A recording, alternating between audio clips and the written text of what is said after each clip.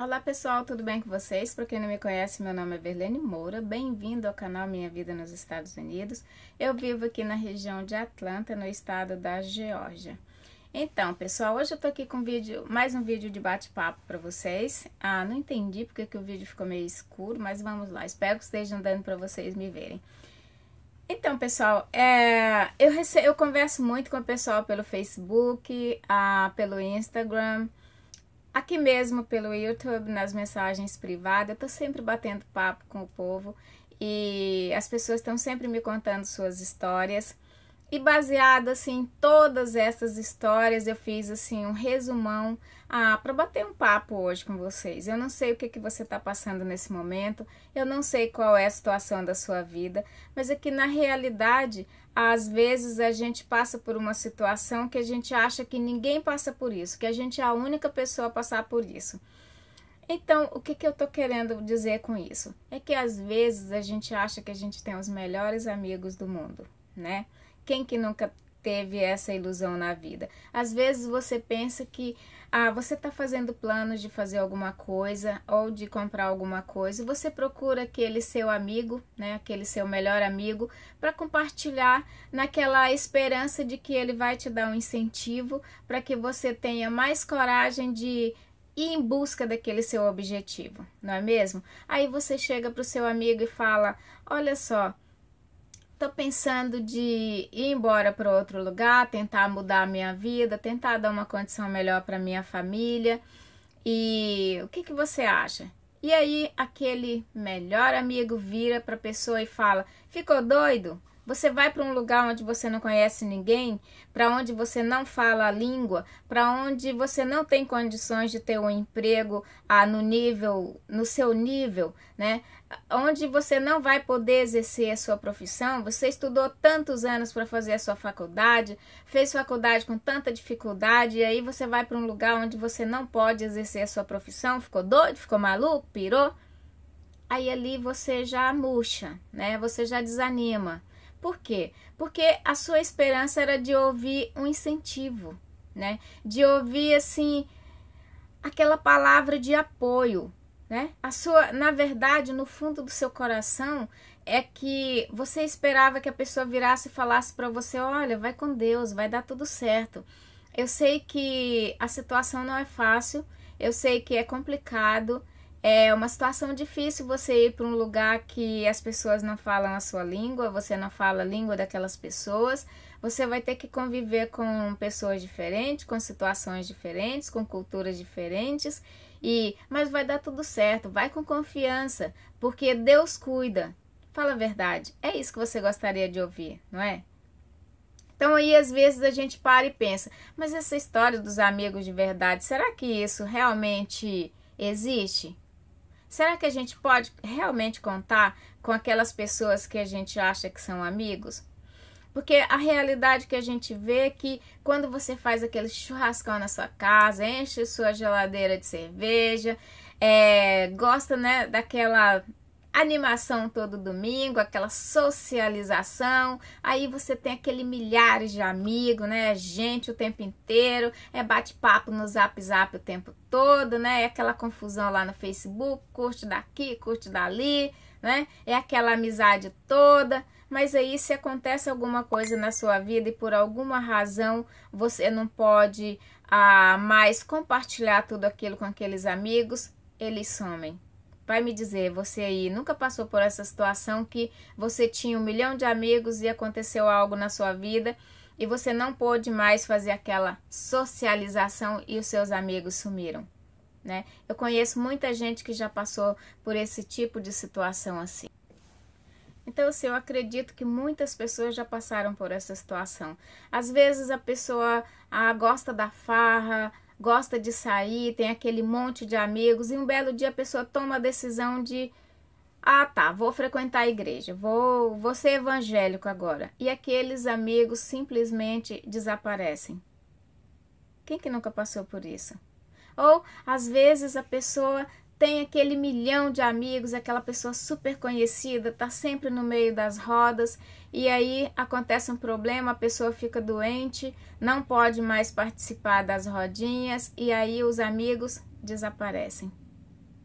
São situações assim que acontecem na vida da gente para a gente poder pensar ah, se realmente existem os verdadeiros amigos. Porque a gente tem aquela consciência de que os verdadeiros amigos são aqueles que estão do seu lado diante das dificuldades. Quando você está em dificuldades, aquela pessoa está ali ao seu lado.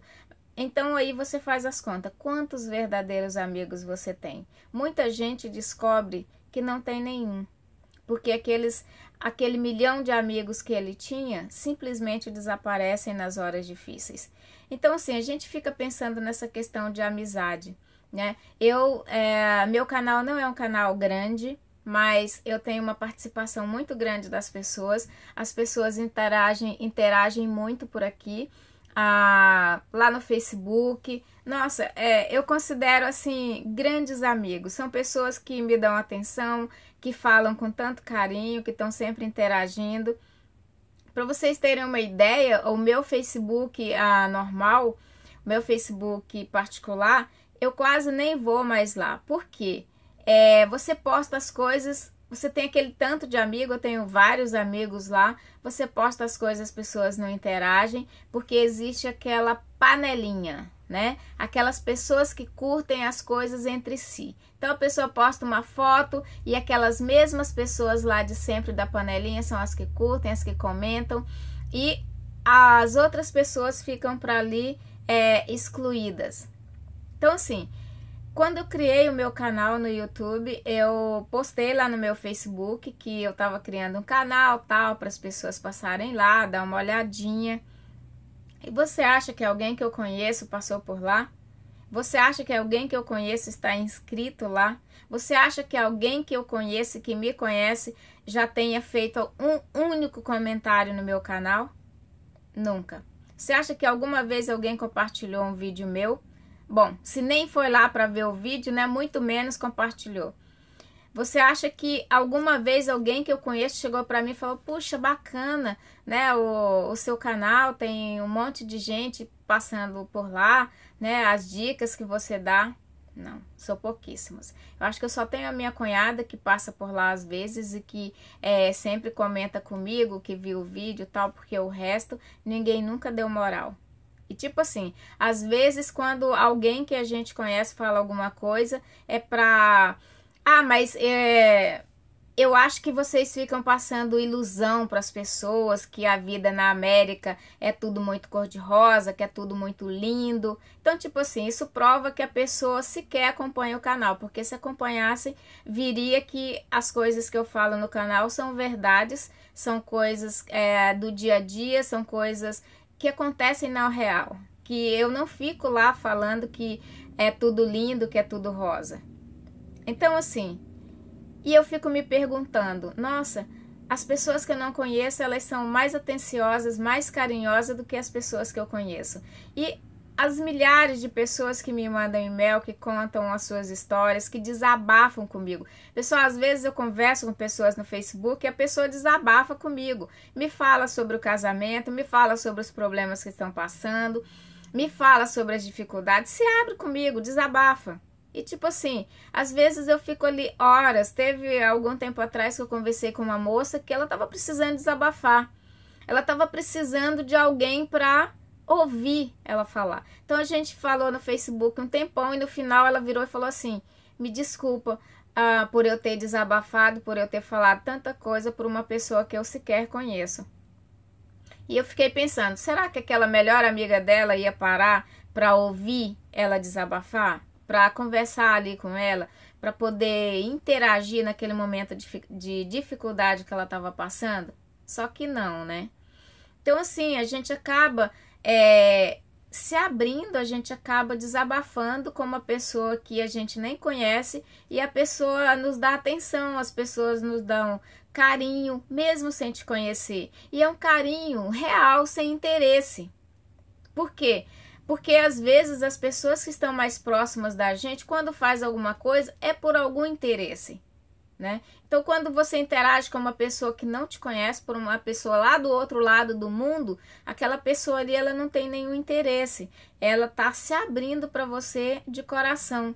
Então fica essa pergunta: será que realmente existe aquelas pessoas que estão do lado da gente são os melhores amigos?